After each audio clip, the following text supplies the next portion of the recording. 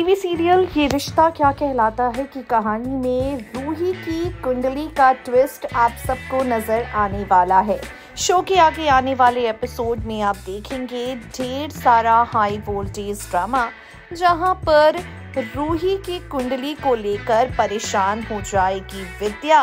Well well विद्या करती है ढेर सारा प्यार अरमान से और उतना ही प्यार करती है रोहित से।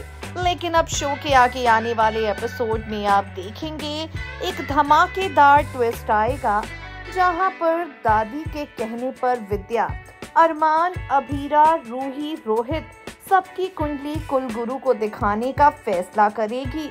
और यहाँ कुलगुरु बताएँगे, रूही की कुंडली में बहुत बड़ा दोष है।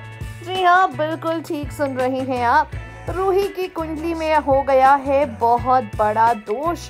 और इसी दोष के चलते हमेशा परेशानी आती रहेगी रोहित पर। ये सुनकर विद्या हो जाएगी बहुत ही ज़्यादा परेशान और विद्या को यहाँ पर हो जाएगी अपने बेटे रोहित के फ्यूचर की टेंशन। आप देखेंगे आगे आने वाले एपिसोड में कुलगुरु से, पंडित से रूही की कुंडली के दोष के बारे में जानकर विद्या हो जाएगी परेशान।